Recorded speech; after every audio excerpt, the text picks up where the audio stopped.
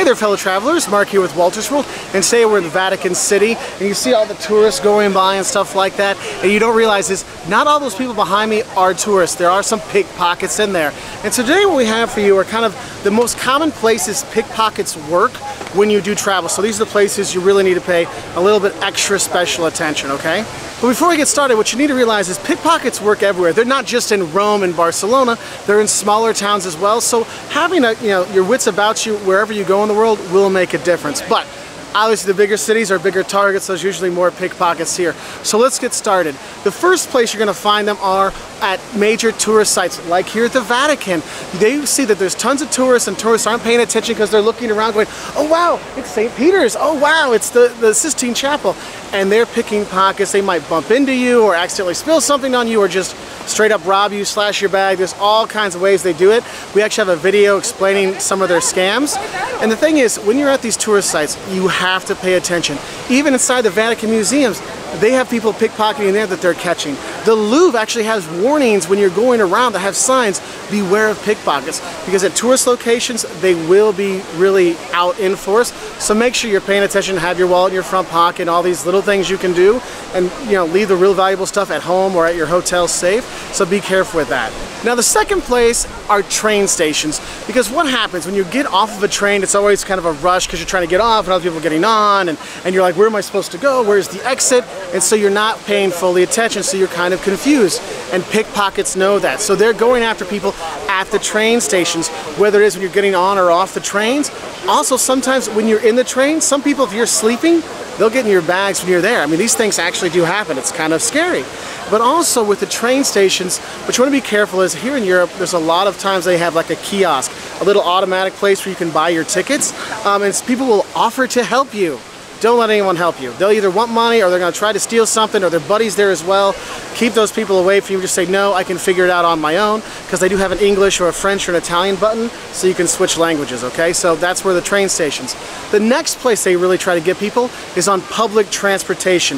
The metros in Paris or here in Rome or Barcelona, they're infamous for the pickpockets on there. Now, when do they pickpocket you?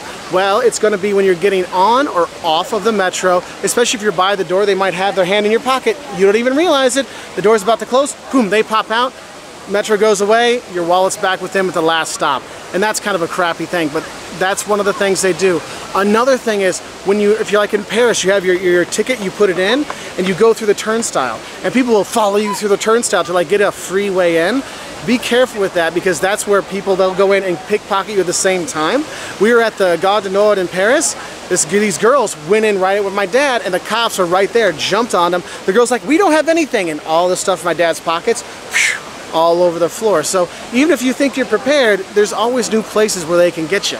Also with public transportation, realize there's gonna be a lot of pickpockets during rush hour because there's so many people on there, you're kind of crowded together, so it makes it easy for you to not pay attention that people are bumping into you because everyone's bumping into you during rush hour. So be careful, especially during rush hour. If you're coming here to Rome, going to the Vatican museums to get there early, or Termini during rush hour, I mean, those are prime pickpocket seasons, okay?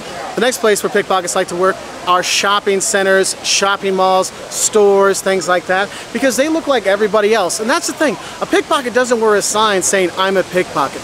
They're dressed up nicely, you would never know it. And in stores, what'll happen is people will go in and change their clothes and stuff, and they might leave their stuff outside, or they put their stuff inside the dressing room, and then go show their friend, hey, look, what do I look like? And then the pickpocket goes in, boom, takes your purse or whatever. And this has actually happened to Jocelyn, my wife. We had Liam when he was a baby. He was in the stroller and she couldn't get the stroller into the into the room, so she put Liam outside in the stroller with our friend standing next to him the lady still got her purse, okay? So when you're shopping, still make pay attention to your bags and stuff because what happens is you might leave your purse open or you people see where you put your wallet, you know, when you go in, how much cash you have. It really makes it easier for pickpockets to know where to get your money, where it's gonna be coming from.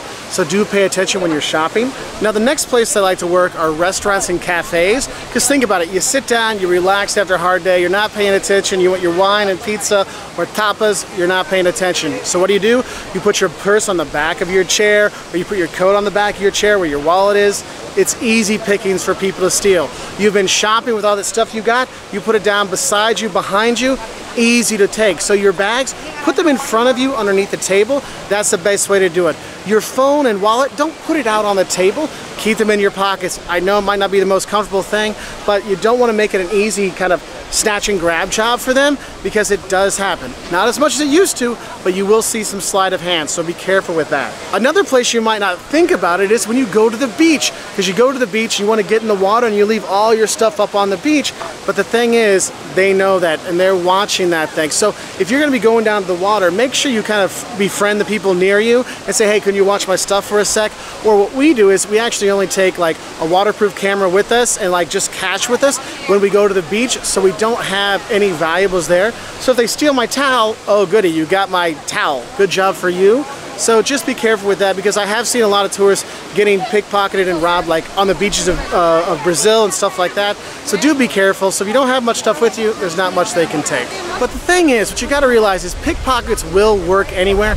Anywhere there's a tourist, anywhere there's they think they can get money, they're gonna be working. You might not even be thinking about it, but there's people out there that are looking to take advantage of you as a tourist. So do be careful. We actually have another video on nine reasons why you got robbed when you traveled, what you should do if you do get robbed when you travel. Um, also another video on what are some of the common um, techniques of pickpockets. Um, all on our website at woltersworld.com or on our YouTube channel, Wolters World. So please like this video and subscribe to our channel and you get more travel videos like this from all over the world. And so I'll say bye from the Vatican and keep your wits about you and make sure you keep all your stuff safe.